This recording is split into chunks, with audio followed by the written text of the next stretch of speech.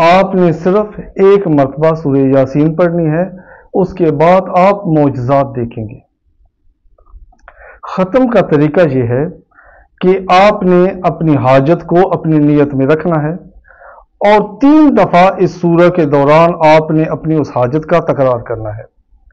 پہلی دفعہ جب آپ آئے بارہ پر پہنچے تو اس وقت مبین کے بعد آپ نے اپنی اس حاجت کا ذکر کرنا ہے جو آپ نے ذہن میں رکھی ہے، اپنی دعا کا ذکر کرنا ہے۔ دوسری دفعہ آیت نمبر باون، کلوں فی فلکیں یس جب اس آیت کی تلاوت کریں، اس وقت آپ اپنی حاجت کا ذکر کریں۔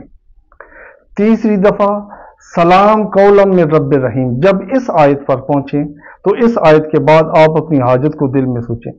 اس آیت کو آپ نے چونتیس مرتبہ تکرار کرنا ہے۔ یعنی سلام ان قولم میں رب رحیم سلام کولم میں رب رحیم اس آئے مبارکہ کو آپ نے چونتیس مرتبہ تکرار کرنا ہے۔ اور جب اس پورے سوری یاسین سے فارغ ہو جائیں تو اس کے بعد یہ دعا پڑھیں۔ بسم اللہ الرحمن الرحیم. سبحان المنفس عن کل مدیون.